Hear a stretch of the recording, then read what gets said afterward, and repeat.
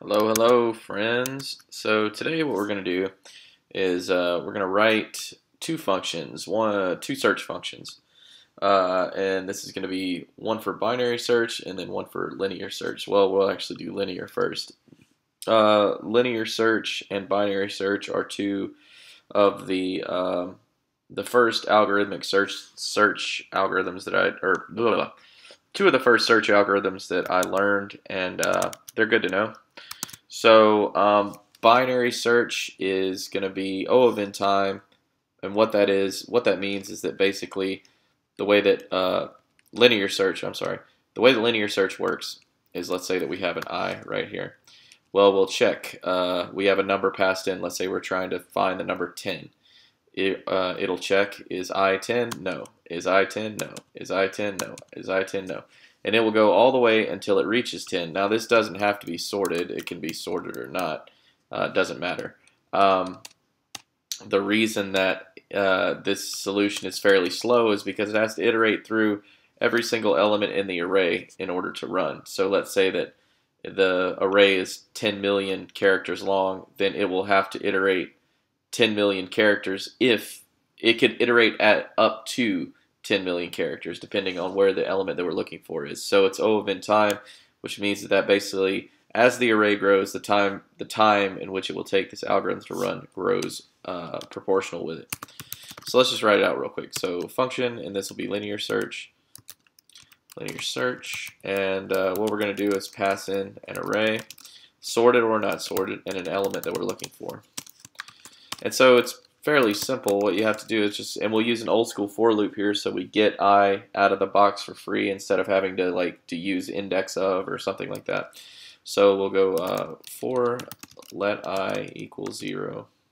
Ah, my God, come on.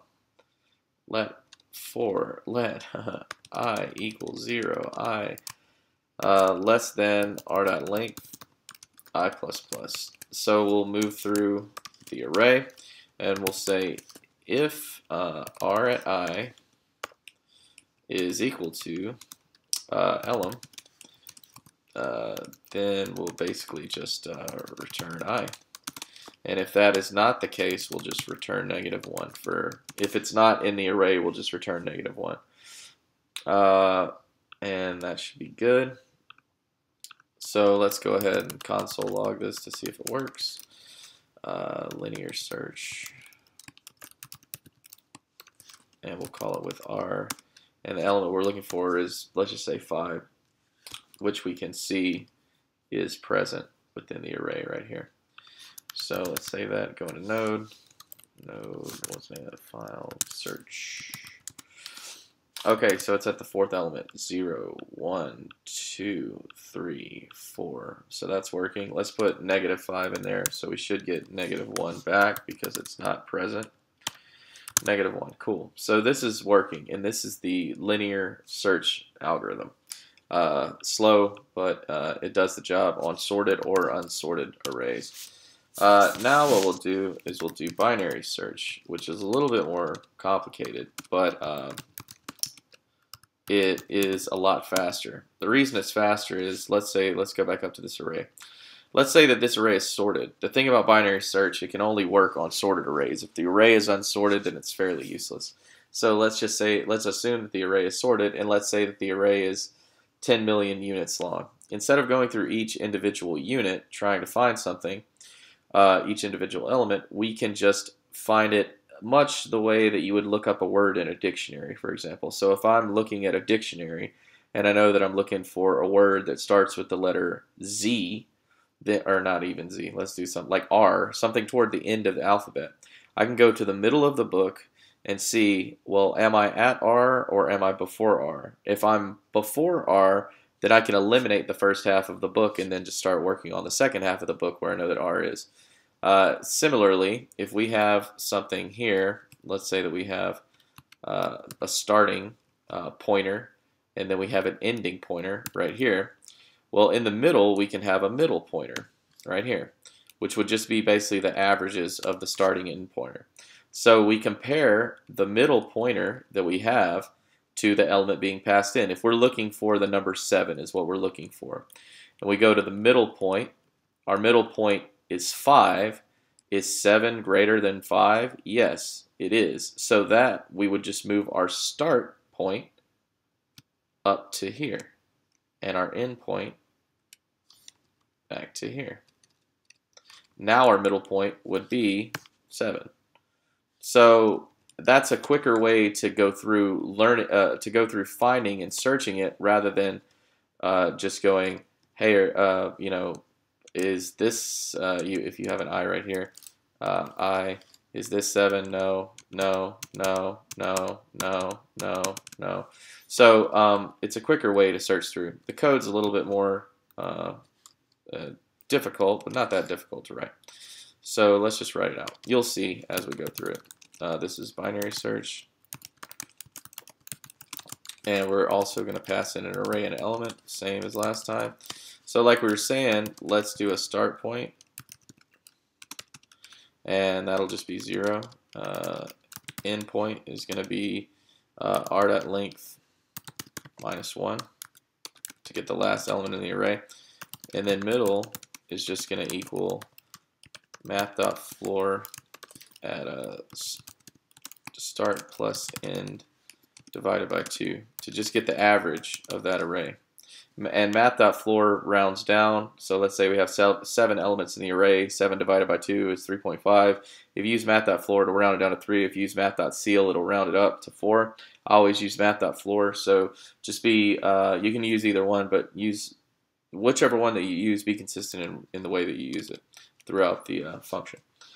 Uh, cool, so we got that. So basically, instead of writing a for loop, we'll want to write a while loop. And we'll just basically say while uh, our middle, while the middle point is not equal to elem, uh, and we need another condition, while um, uh, start is uh, less than or equal to end, what do we, we want to do some stuff what we want to do is basically check. So we'll go if uh, r at middle is less than elem. So if it's less than elem. So let's say that we we're looking for uh, we're looking for seven, and our middle point is five. So if our middle point is less than our element, we want to move the starting point up to middle plus 1 because we've already checked this 5. We know that it's not it, so we can move the middle the start point to here. So we'll go start equals middle plus 1.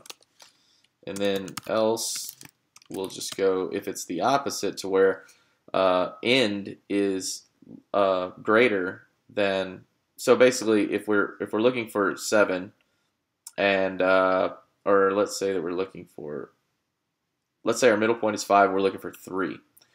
So the the element is going to be less than the middle point. We can move the end point to uh, uh, middle point minus one. So that makes sense, right? End equals middle minus one, right? Wait, I did something wrong. I made a syntactical error, I believe. Else. Wait, or did I? No. Yeah, that's right. So uh, else we'll do uh, end equals middle minus 1. And then no matter what happens, we're always going to want to reset our middle to be the new um, to take to take in the average of the new start and end point. So we just copy this line, put it right here, uh, and then we'll return.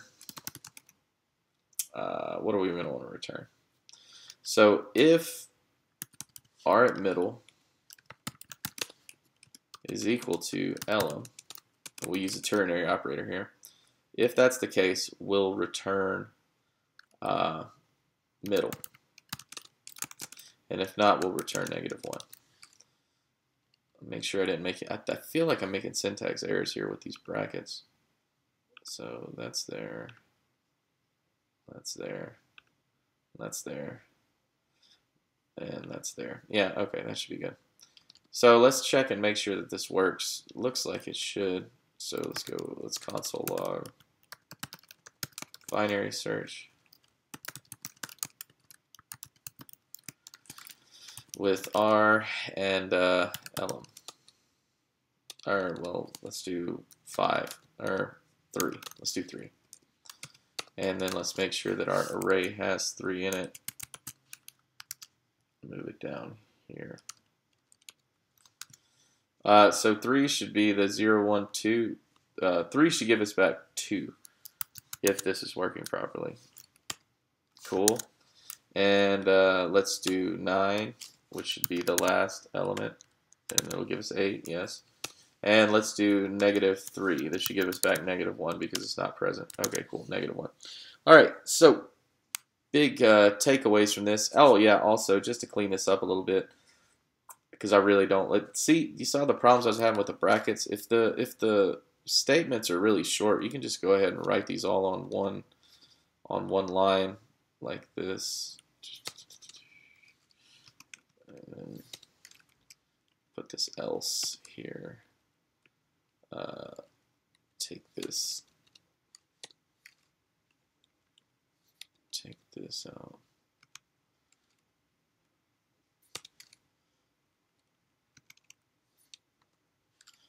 And so that just cleaned up the code a little bit.